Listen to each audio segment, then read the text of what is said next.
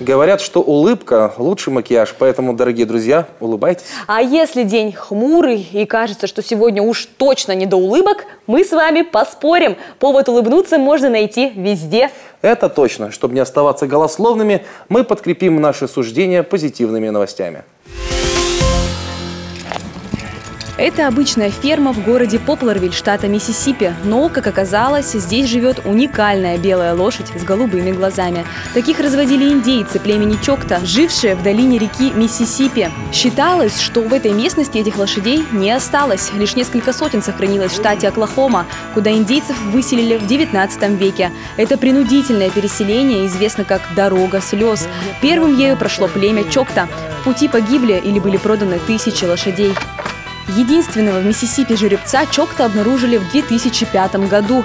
В Попларвиль приехал эксперт в надежде найти домашний скот, ведущий свою историю с колониальных времен. К своему удивлению, он выяснил, что овцы на ферме Браунов происходят от тех, которые завезли испанские завоеватели. Но еще больше сюрприз ждал исследователя, когда он увидел белого жеребца. ДНК-анализ подтвердил, что он потомок лошадей Чокта.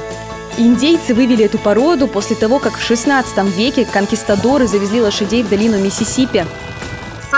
Сначала их использовали как вьючных животных и брали на охоту. Женщины, занимавшиеся переработкой мяса, смогли перевозить его на лошадях. Лошади индейцев славились неприхотливостью, выносливостью и умом. У них были большие глаза с ясным взором. Зимой многие эти животные питались тем, что могли найти в сосновом лесу и на прибрежных равнинах. Поэтому они могут выживать там, где не выживут лошади, которых сейчас разводят для продажи. Ферма, на которой нашли редкого жеребца, принадлежит семье Браунов с 1881 года, а лошади здесь появились еще раньше. Uh, Охрана животноводства называет их местной породой, потому что они живут здесь очень давно. Они самостоятельно развивались еще до того, как сельское хозяйство встало на ноги. В прошлом году на ферму в Попларвилле из Оклахомы привезли несколько кобыл Чокта.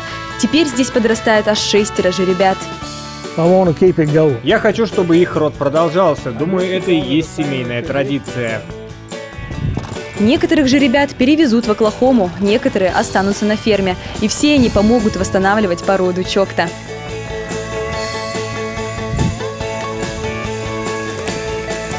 Это Зорро. В его жилах течет кровь бордер-колли и спрингер-спаниеля. Но в отношении этого пятимесячного щенка чистота породы не главное. Его миссия – выучиться на собаку-ищейку и помочь спасти австралийских сипух на острове Тасмания.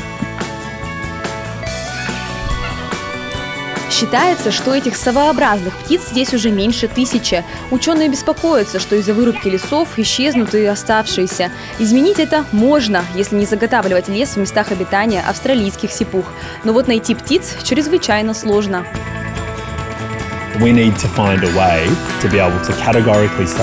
Нужен способ точно определять место обитания австралийских сипух. Пока не появится такая методика, мы не сможем правильно распоряжаться лесами.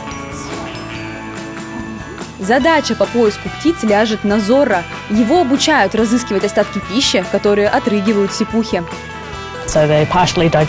Птицы переваривают пищу, а потом отрыгивают ее частички. Они немного похожи на шарики кошачьей шерсти и состоят из меха, косточек и мяса маленького животного. Пока щенок тренируется, поиском сипух занимаются люди. It's pretty frustrating, yeah. Я очень расстроен. Дело в том, что я провел 850 обследований местности и нашел сипух только 30 раз. Собака-ищейка изменит правила игры. Во время обучения Зора будут возить в Квинсленд. Там обрести нужные навыки им помогут специалисты, которые натренировали первую в мире собаку, разыскивающую коал. Когда Зора успешно сдаст экзамены, сразу начнет выполнять свою важную миссию – Первая половина нашего понедельничного выпуска позади. Узнаем, что будет во второй части программы.